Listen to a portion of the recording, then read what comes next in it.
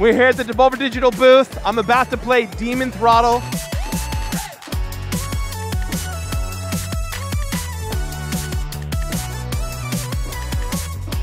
Please tell everyone your name at home. Uh, bonjour, I am uh, J.M. Ramswood Mayhem, Executive Director of the Counterintelligence Operations at Devolver Digital Entertainment, a subsidiary for Parker Zilli Epic Funtime Cayman and Holdings.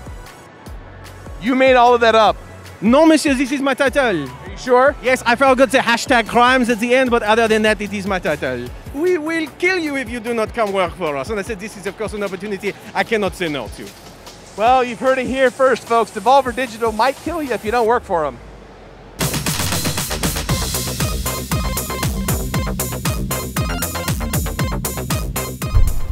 I'm here with the team, the brilliant minds behind uh, Demon Throttle uh, from uh, Doinksoft. Guys, thank you so much for your time.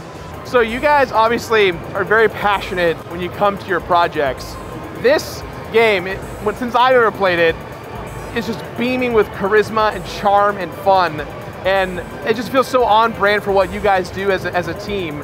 Uh, when it came to Demon Throttle, what was like the, the cohesion you guys had? Because I know that you sort of worked, correct me wrong, you started working on this during the pandemic, right? This was like your first remote game from home as a team coming together. Uh, I think it went pretty smoothly. I think the, the thing is that we have uh, another project at the same time was a little difficult, and also it's really, really hard to uh, copy the files. Uh, source control is what they call it for, for video games. It's hard to keep that stuff straight. Yeah. And to make sure everybody has the right versions of stuff. But I think overall it's a really smooth process. We love working together. So. Yeah. We've been making video games together for a while, and we're all really good friends. So, and we all know what we like, and we like similar stuff. So a lot of times things just work. It's just like do this, and it's like yeah, that's sick, you know. And we in like you know charm and humor and you know really good feeling shit. is like we're all about you. One thing I liked about the collaboration uh, specifically was um, making the cutscenes happen because like I think we've always kind of wanted to do something with that Ninja Gaiden cutscene vibe where you have the big sprites and you know like the illustration approach of pixel art, you know, and um, I thought it was fun because we got uh, the person who did the art for the cutscenes, Morocco. Um, he's worked on Gato Roboto with us. He worked on Devolver Bootlegs with us, and it was it was really cool. Like sending him a really crappy animatic made in Flash, and he comes back with these like beautifully designed pixel art. And if you look at the originals, they're so sketchy compared to what it ended up being. So Yeah. that was really cool. And it was like the same thing that Britt said. So one thing you guys are really known for, at least in my opinion, is your humor is next level. Like you guys are so freaking funny when you're playing your.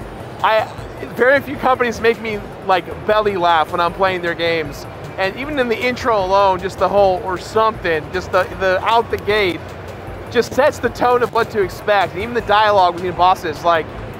How do you go about doing that? I think I'm a funny guy. I couldn't come up with that. Like, Well- what was that like for you guys? To be honest, it is way toned down to what it originally was. Devolver was kind of like, you know, maybe we could be a little bit more subtle about this.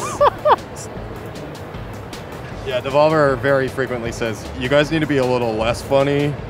Uh, no, they, they don't say that. Oh. They love us. One of the first things we came up with specifically that ended up in the game was this joke, like that demon kissed my wife. That demon kissed my wife. Or something. It used to be something a little different, but now it's that demon kissed my wife or something. Um, and that was just a joke we were saying back and forth. We're like, oh, that'd be so funny if that was in an actual game. And, you know, uh, I'm just glad we could follow through with that and have it in a have a ridiculous joke like that just be the centerpiece of a game at PAX. So it's pretty Well, it's pretty the, cool. The best part about it is that that's it's like not the one joke, which is sets the tone for the whole game in the intro, isn't just the one joke. Like you got when when you're fighting bosses, when the, when the characters interact, there's definitely this level of of comedic cohesion that I think you guys have like followed throughout the game, which I think is really awesome. Yeah, I think the approach was just to write bad and write silly, you know, and just like keep it fun and light, you know, and um, have the characters make fun of each other. So like even though it's a tiny little sprite on screen, you feel like this character actually has an identity. So, one of the fascinating things that people at home may not know about, I know about it because I know you guys is that this game is exclusively being released physically on Nintendo Switch. I imagine that like a lot of people are mad about that, but I think that's actually really rad that you guys are like, hey, if you want to experience our game, you can get it physically. What is that process like for you guys in Devolver Digital? Is that something that you're like you're hesitant about, or like now that you've had time with it, it's like a really cool thing? I think originally when I was uh, prototyping the game, I wanted to make it into just an arcade cabinet. So when we showed them the game, just hey, look at this other thing we're working on. Uh, Nigel pitched it to us. I'm like, that's really in line with what I wanted to do in the first place. Is Yeah. I want to do a physical collector's thing. Yeah. Um, and I think a, a, a important thing to note, I think, is that like it isn't like a limited game. Like Yeah. we're gonna have as many copies as people want to buy it, yeah. and like we want to keep selling them forever. Like we don't want it to be like a FOMO thing. One thing about the physical aspect that is going to be really cool is that you get this instruction booklet and you might play the game and be like, I don't understand this or that. And you open up the instruction booklet, there's hot tips. There's, I there's a hidden that. cheat code in there. I love that. Um, and a lot of the game mechanics are explained in the book. There's Yeah. no tutorial in the game. It's just like a Nintendo game. It's just like in an old Nintendo game, if you don't have the booklet in Star Tropics, you can't beat this one part, right? There- There's something weird about buying a PS4, PS, PS5 game, opening the, the case, and there's a place to hold it, and inside is either like a pre-order code for another game or like DLC, but not a manual Right. that gives you that insight. And I think Yeah. that when we were kids, that insight being in the manual was so important. Like Star Tropics is great, Earthworm Jim, you didn't know the lore of Earthworm Jim unless you read that Yeah. booklet.